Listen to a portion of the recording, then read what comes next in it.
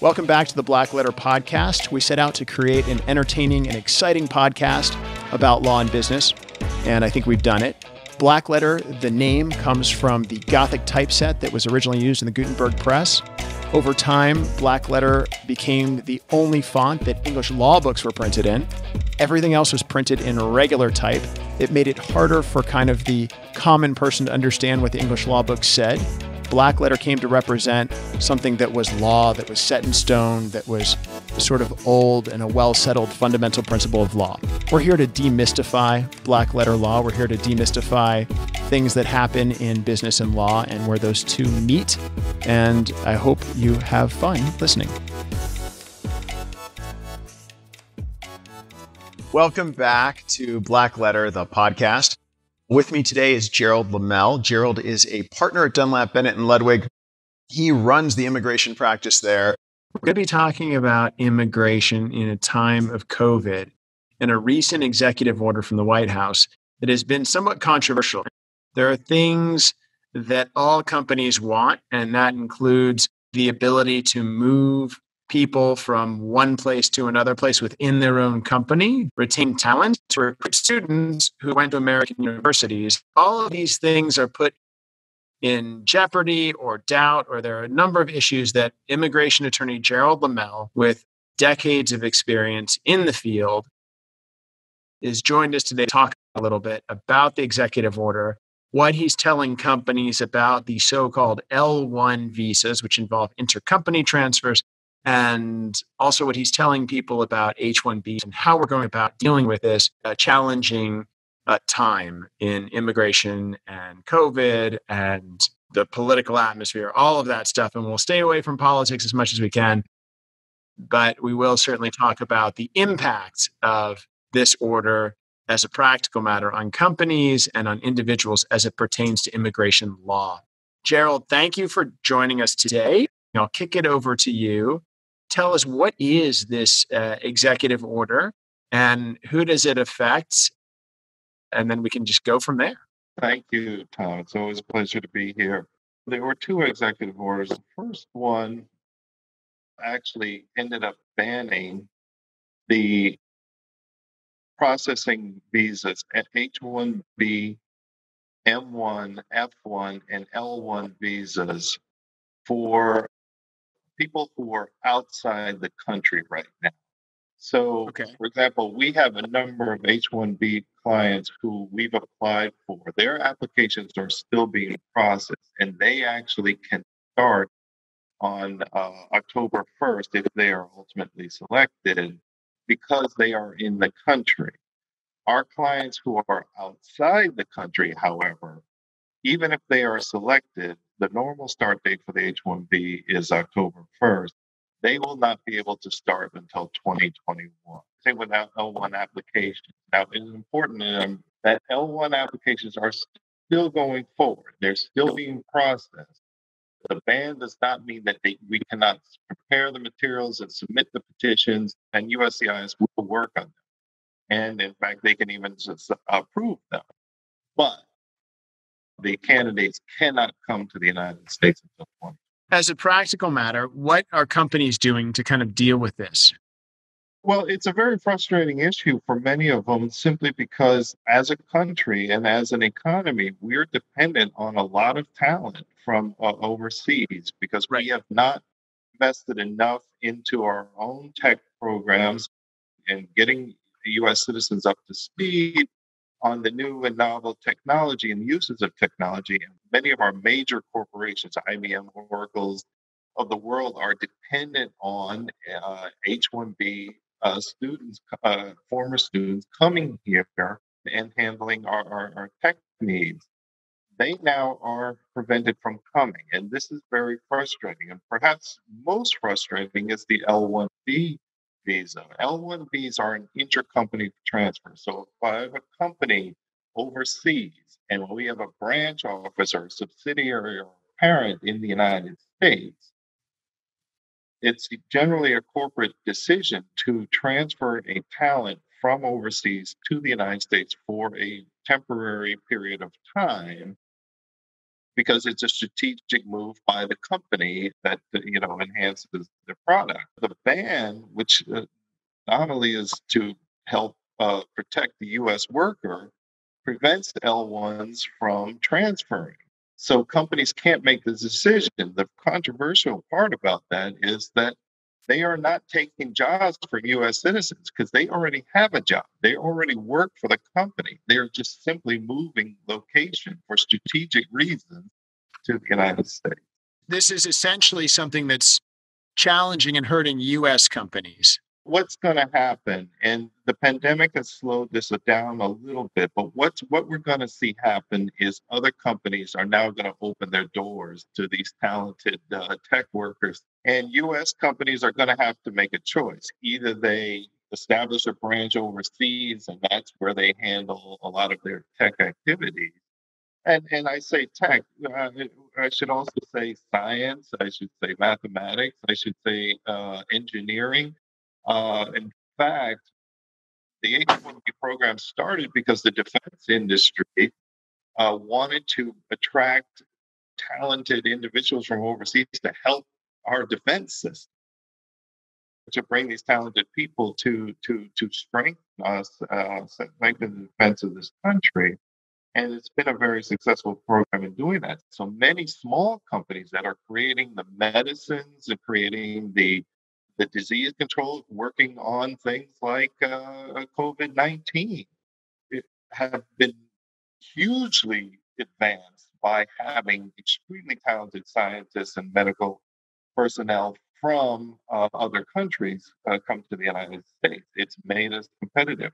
Those folks now are going to, to, to suffer, and ultimately our defense industry what are you telling companies now that come to you and say, look, I, I would like to apply for an H 1B visa? Are you telling them, forget it, don't do it now? Or what are you saying? Absolutely not. Just the opposite. What I'm saying is this ban is temporary, it will end in 2021. And the fact of the matter is, when you're putting together an immigration petition, by the time you get all the paperwork in uh, put together, by the time the petitions are drawn, by the time all the affidavits are signed, by the time USCIS gets it and reviews it, six months will have well passed. The fact of the matter is, if you're ready to to to do this right now, I would say go on and do it. You're not losing any time. Gotcha. So it's better to get in line now. So my other question for you: You say it will end. Is it going to end because of regime change in the United States, or does the executive order have a time limit attached to it already? Like it's a temporary thing? Is there a guarantee that it ends? The executive order runs through the end of, of 2020. So there is an end time on the executive order. Of course, it can be renewed at that time. But also, every 60 days, it can be reviewed up until that time.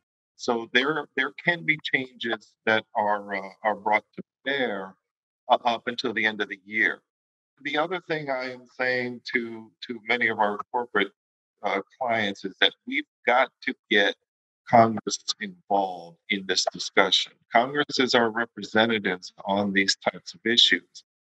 And in fact, the Constitution gives Congress exclusive right to uh, legislate immigration.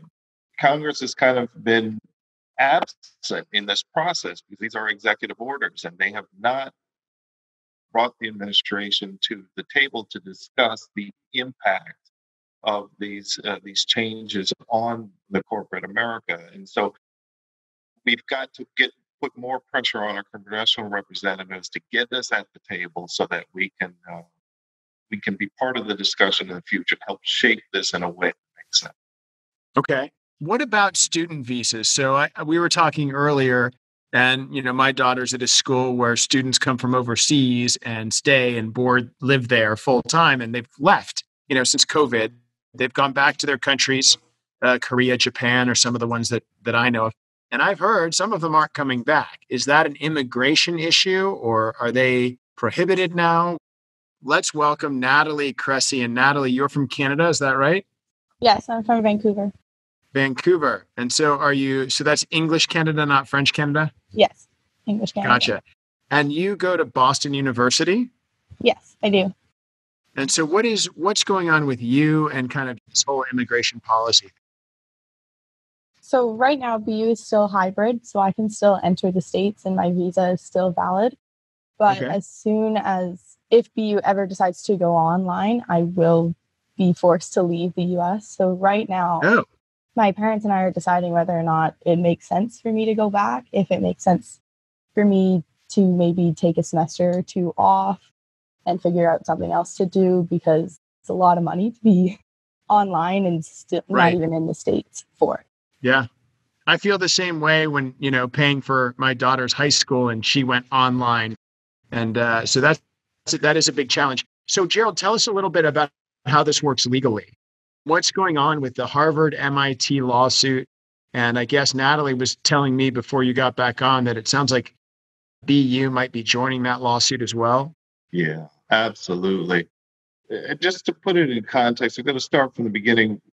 The pandemic uh, hit, and on March 13th, 2020, the government announced a national emergency. Now, how this affected the F 1 visa is there is a rule uh, that students in the country on an F 1 visa have to attend most of their classes in person. So that's been a rule with the F1s forever.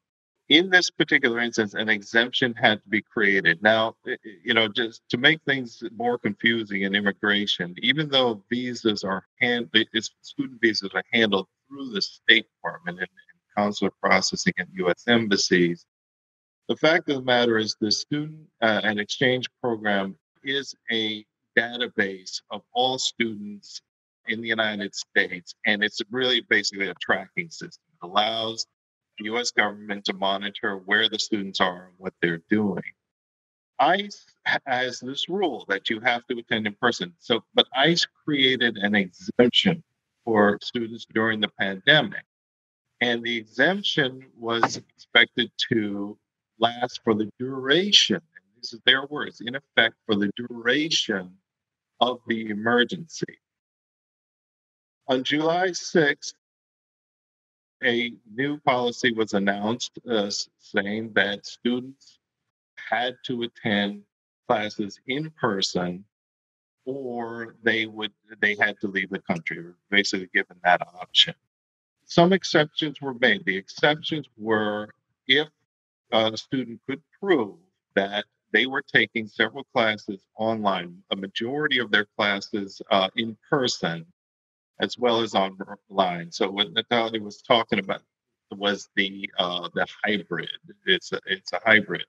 Now the challenge there is that in order to register a hybrid, the, the schools have to certify the hybrid program and then certify each student within the hy- hybrid program by August 4th, which Okay. gives them less than a month. Now there are 1,095,000 students in the country on F1 visa. All these students would have to be given brand new F1 visas certifying that they are eligible to stay. That's an enormous task for many universities. Not only that, they, because of the pandemic, a lot of them created a new online program in preparation for the, the emergency lasting through at least through the fall semester. So the Harvards and MITs already announced that they were not going to have in-person uh, classes. Gotcha. They now have to change change this. They now have to implement a brand new system in order to comply with the new and to keep their Uh, so they have to add in-person classes in order to keep their foreign students in order to be keep their foreign students on an F1 visa under the new rule. which does not jive with everything that we're being told by CDC, Dr. Fauci, and other experts in the field as far as putting students together in one room, putting a number of people together in that one room, Right, not being able to monitor the in and in and out uh, and, and activities of people. So parents have to make a difficult decision. Do we send our child to an in-person class in this dangerous time? or do we withdraw and leave the country, which has some dangers in and of itself? It's a very, very, very uh, complicated situation. So, so Natalie, what do you plan to do as of now? Do you have plans? As of right now, I'm still kind of in a limbo, but right now I plan on going back to school and hopefully attending in person classes, as well as the fact that I live off campus. So I won't be in dorms or anything, which is okay. also kind of an added safety with my parents and everything. And it makes them more comfortable with me going back. Because it's a controlled environment. Yeah. yeah. And I can control how many people I see at once and everything. So right. it's just, so that's an added kind of plus to it. But I could still end up staying here or not going back to school for fall or anything. Okay. So it's it's it's a tough time for everybody. So it's a tough time. And Natalie, you weren't here for this, but we talked about companies can't move people between offices when they're mm-hmm. already employed by the company now.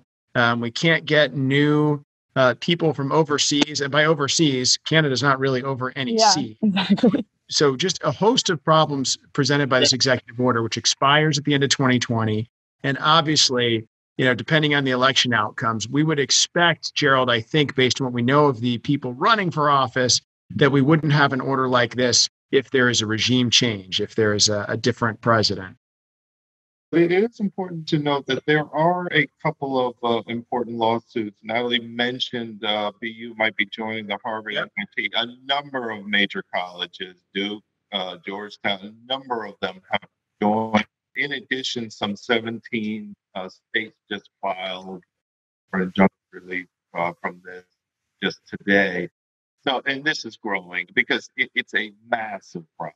The basis of this, uh, the suit for injunctive relief is something called the Administrative Procedures Act, which was passed in 1946. And what it says is requires federal agencies to have a process for changing rules changing yep. rules and creating new laws and emergency orders. So they have to uh, publish the order. They'd have 30 Notice, days comment.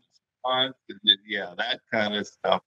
And uh, this this just simply didn't happen. The claims for relief are um, based on uh, the fact that they failed to consider important aspects of the problem for the agency. There's no explanation as to why this was done the way it was done. There's no explanation as to why everything had to change within a month. Why um, it's so important that we have in-person classes in the fall when the pandemic, the facts of the pandemic right. have not changed. There's nothing from the administration. As did you check Twitter? Well, yeah.